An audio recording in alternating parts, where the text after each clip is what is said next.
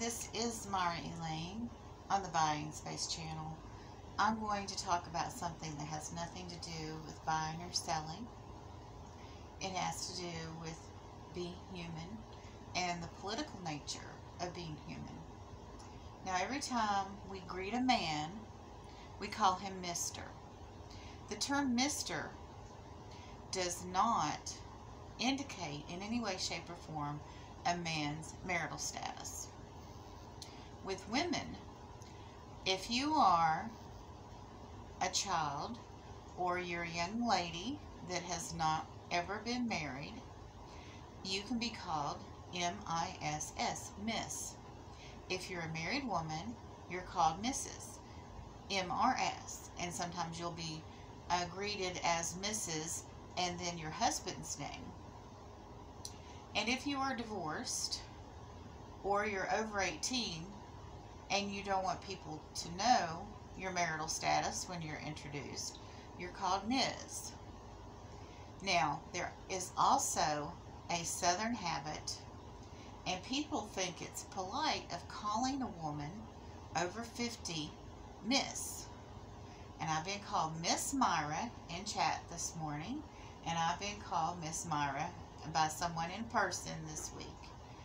To me, it's insulting because you're indicating an older woman, but you're diminishing her social capacity at the same time. So it's like sexism and ageism rolled into one for me. Now, I know it is a Southern custom, but it's rude. And also, I think it's rude to call somebody honey, sweetie, or dear. I really think that's rude because you're diminishing women by calling them these sweet little names. Uh, if you're in the South, I moved.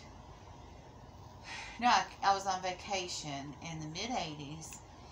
Uh, to, well, I went to Orange Park Mall went to the theater, and there was a, a couple there. They both had gray hair, and the woman called me sweetie. And I said, well, what I've heard from about the area is uh, the lesbians are in Riverside. So I was just letting her know I don't think it's appropriate for you to call me sweetie. And I don't think it's um, appropriate for a man to address me that way unless he's my lover or my husband or my father or my brother unless you are close in relationship with me, unless you're a very good friend status or have met me in person, I don't like to be called Miss. I really think it diminishes my social capacity because men, when they're introduced, they're not classified as married or not. I've noticed that some churches in their Sunday school classes, they have a men's class. But they'll take the women and put them in never married, divorced, uh, you know, singles, uh, you know, and children, you know, are put together. But when, when people get to the age of young adult, Women are put into Sunday school classes according to their marital status, and the men are in the men's class. They're not separated according to their marital status. I mean, I just find that very discriminatory. If men aren't classified according to their marital status, uh, by title, or by function, neither should women.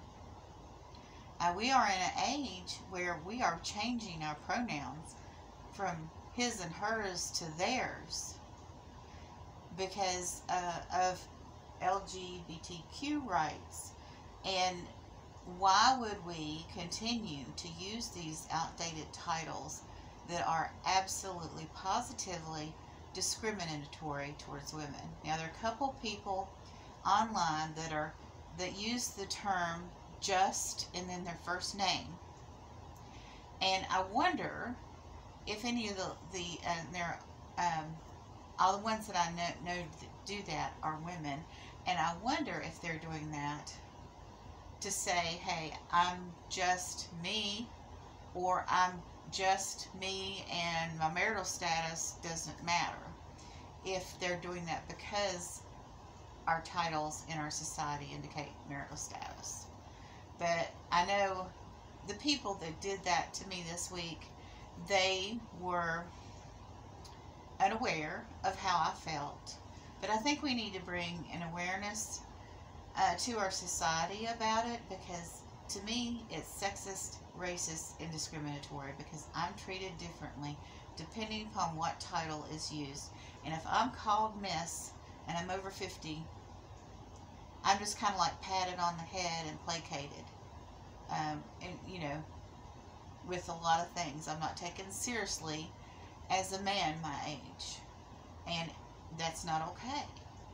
I should be able to do everything in society a man does, and a man should be able to do anything a woman does. Like, you know, if you're a man and you want to go into nursing, you should not uh, be discriminated against going into a, a typically or historically female field.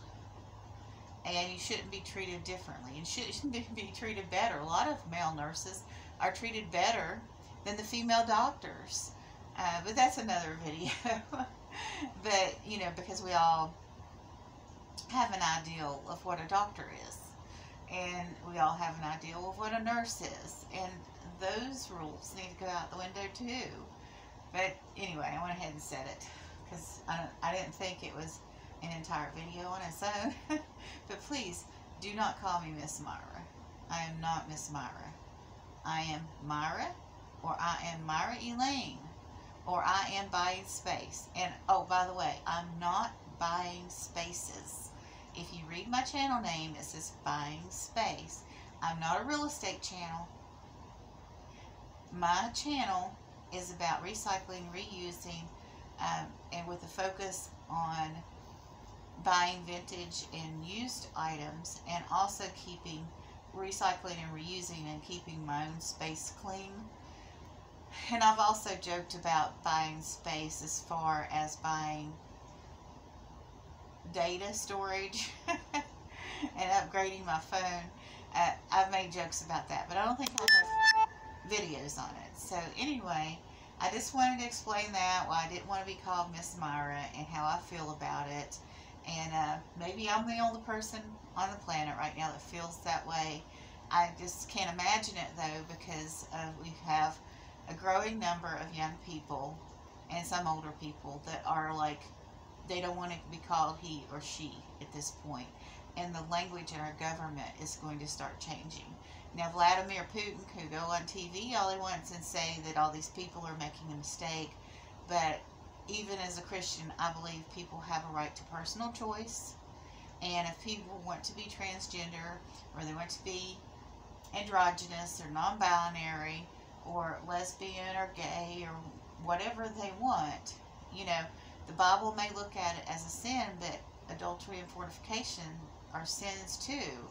And we're all sinners. So you can't say, well, you know, people in that community are, are going to hell because when you're married to your second wife that is 20 years younger than you, I mean, it's a little bit of hypocrisy going on there. So uh, that's my um, stance on gender and gender uh, gender titles. Have a wonderful and blessed day, everyone.